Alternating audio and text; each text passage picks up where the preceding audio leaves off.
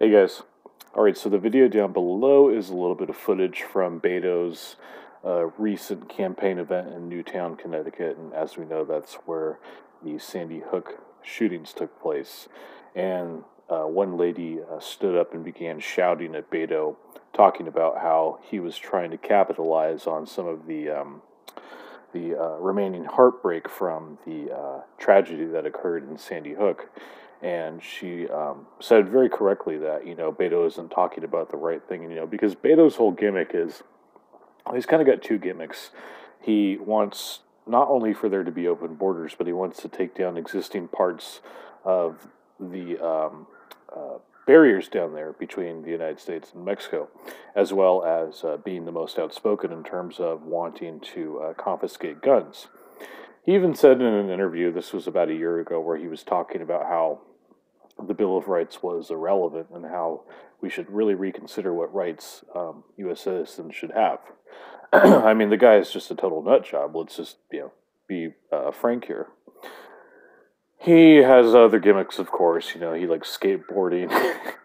he likes um, getting um, pictures of or videos of himself taken when he's at the dentist, when he's getting a haircut, when he's changing uh, a staffer's tire, and so just there's a lot of cringe involved. And I talked about this before how Beto is the cringiest uh, candidate amongst all the Democrats running for uh, 2020, and that's saying something because there's a shit ton of cringe out there.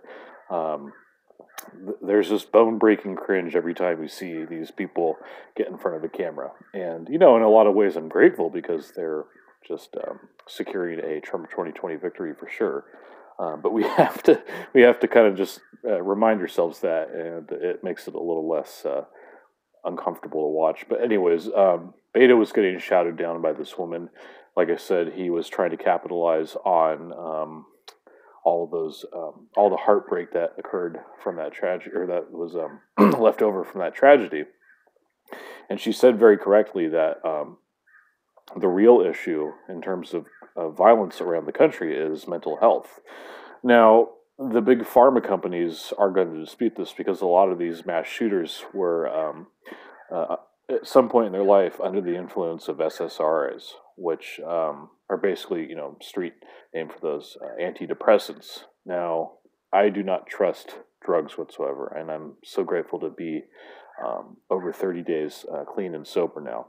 Uh, it doesn't matter. I don't. I don't trust any drugs. You know, alcohol, marijuana, cocaine, heroin, any of that stuff. It's not good for you. And this even goes for these prescription medications that people are getting. Unfortunately, some of my fellow addicts are still taking these to these day, taking these to this day, and they're they're a shell of their former self. I mean, they don't seem like like they're all there, and that goes for the people um, that have been uh, involved in these mass shootings. They have all been under the influence of some type of drug, and it's very unfortunate because a lot of these children they get um, put on Adderall at a very uh, very young age. I mean, I'm talking about as young as four.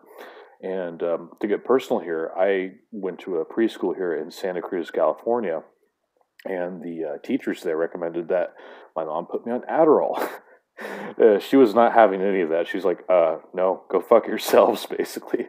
And um, but the sad thing is, is that I saw my best friend. I saw the guy that I uh, play baseball with. I mean, they've been taking it their whole lives, and they, they are just it's it's sad the way they've turned out. I mean, I don't think that they're happy, and I think that the way that they turned out, they probably they could they would probably change it if they had some control over it. But you know, once you get hooked on these drugs at an early age, there's no really getting off of them because your body becomes um, chemically dependent on them, and that's a very very bad position to be in. But anyways, going to the main story. Um, I really admire the courage of this woman to get up there and start shouting at Beto because the guy's a total pussy. I mean, he um, is advocating for people to give up their guns, guns when um, he himself is surrounded by armed guards with AR-15s and and handguns and whatnot. So um, it's very disheartening to see the hypocrisy coming from the left. But at the same time, like I've said this before, I've said it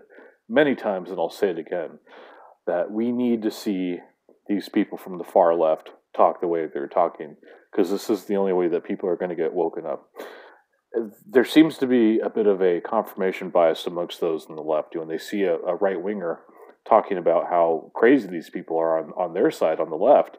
They're going to say, "Oh, they're just some crazy right winger. They're just some dumbass, you know, Trump supporters, some cousin fucker." Essentially, I mean, this is what they think in a lot of cases. Um, they won't say it, but they really do. They think that we're total bumpkins. Um, but if they start to see that behavior coming from the um, people on their own side, you know, like talking about taking guns and and talking about tearing down existing parts of the wall, and then just the orange man badge stick is going to get old after a long time, and even the white man badge stick, um, because a lot of these people on the left are white. They're going to get tired of being cucked in a lot of ways. They're going to get tired of being um, demeaned all the time because they're going to say, well, there's nothing wrong with the color of my skin, which there is absolutely nothing wrong with the color of your skin. It doesn't matter what uh, race you come from. You know, you should be proud of your skin color. Honestly, you should be proud of your um, of your race, of your ethnicity, of your heritage, and there's a lot of open definitions there. But just you know, be proud of who you are. There's nothing wrong with you. Um, they're going to get tired of it, and the final and um, the third and final mantra, "Guns are bad." Okay, um, they're going to realize that there's so many different um, uh, fallacies when it comes to gun control. I mean, you look at Chicago; it's not working out so great over there. They have um, a multitude of gun violent, uh, gun violent, violence related crimes. You know, um, there, there, was this really just shocking video, and Styx has mentioned it before. He's uh, talked about it where. Um, this guy left his camera running for like several minutes, and he was in the middle of uh, Chicago, and it's just nothing but gunfire. It's insane. I mean, it, it, literally is like a third world country. I mean, the first thing I thought was like this. You know, not that I've been there, but I'm thinking like I'm, I'm imagining this is kind of what uh, Mogadishu is like with all the gunfire. I, I can't imagine um, anyone in the right mind looking at this and saying, well, gun control is really working out here because the reality is, uh, with gun control, um, it doesn't work. It punishes the law abiding uh, citizens and rewards the criminals as well as the black market because they begin to have a um, stranglehold on that. So if uh, legal gun sales go down, that's more of an opportunity for them to um, supply illegal uh, or guns illegally to people. Um, and there's a whole debate about that Second Amendment, of course. I don't think there, I think we should just get rid of all the gun laws altogether. You know, I don't think that criminals should own guns. Um, there should be laws in place to do that because at the same time they're going to get them illegally. So it's like, well, we at least have to posture and say, well, yeah, of course you can't have a gun. You, you, um, you killed somebody at a very young age, and I know you're out of prison, but you can't. We can't legally sell you one. They're going to get a gun if they want to get one. Um, and then they're also, and this is the one I keep bringing up with um, gun control. It's like with the minorities, and according to the left's logic, like if the minorities are forced to give up their guns, then can you really depend on the police to come protect them in a um, instance uh, instant of uh, violent crime against them? You know, whether it's a armed robbery at their house, a burglary, a mugging on the street. I mean, according to you guys, like the cops are total racists. They're not going to protect the brown people and the black people. So um, there's definitely a lot of fallacies there. And I just want to say this in closing. You know, I had somebody uh, say that, oh, only guns, rather, only cowards carry guns. Only, you know, cowards carry guns. So I'm thinking about my own uh, family. My, my great aunt who lives up in Oregon. She's lived there for quite some time, but she um, carries a handgun everywhere she goes with her. And I'm thinking, are you really calling my great aunt a coward for wanting to defend herself? I mean, she lives alone. Um, do, do you think that uh, that's going to go over well? I mean, do you even have the balls to like say that to her? Honestly, I mean, you, you sound completely insane.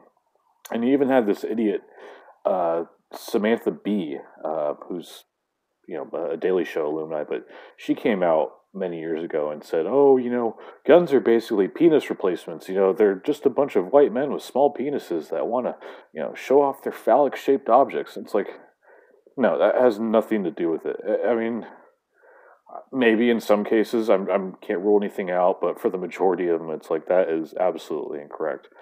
Like you really are going to call somebody uh, like a you're going to call a man a dickless. Um, you're going to call a man dickless for wanting to defend his family in case something happens, in case somebody breaks into their house. I mean, um, Samantha, I hate to break it to you, but your armed guards around you, they all got guns. Um, are you going to call them dickless? Huh? I don't think so. And also, I want to say, like, I really admire the courage of this woman to go up there and essentially, you know, tell Beto to bring it on because, you know, and you know, he's not going to debate her. You know, what do you, what are you thinking? You know, I, I admire the courage, but you have to look at it this way: Beto is such a pussy that uh, he is going to have these little campaign events, which is a, another uh, term for low energy rally or low energy slash attendance rally. Um, and he's going to handpick everybody that's in the crowd. And I can tell you right now that he's going to make damn sure that no woman like this is going to be, or no man like this, no person is going to be put in the audience of any of these um, future events. I can tell you that now. Um, so you know, like you know, good on you for asking him to debate you, but come on, he's not going to do that. Are you kidding me? He's a total pussy. All right, guys, thank you so much for watching. God bless. I'll see you later.